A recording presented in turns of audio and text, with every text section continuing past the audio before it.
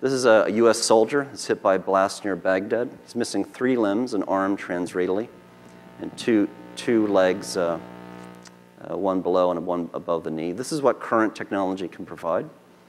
To me and my, my team in, at MIT, this is simply unacceptable. We need to do a better job in society uh, in the area of human-machine interaction for the treatment of uh, human limitation.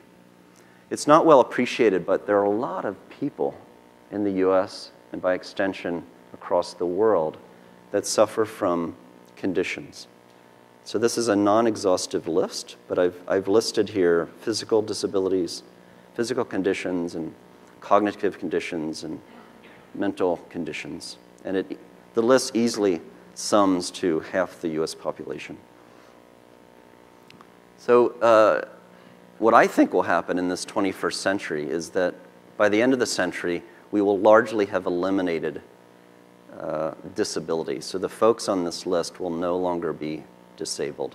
Just like me, you can't with a straight face label me as disabled. I mountain climb, I run every day. Um, so, but if you take away my artificial limbs, I'm profoundly disabled. All I can do is crawl. So with technology, you, you get this uplifting, profound effect.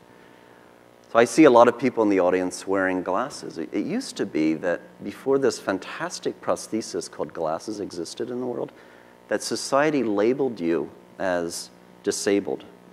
But now, because of eyeglasses, you're not labeled as disabled. In fact, eyeglasses are a fashion statement. So one day, all these people will be terribly fashionable, in my prediction.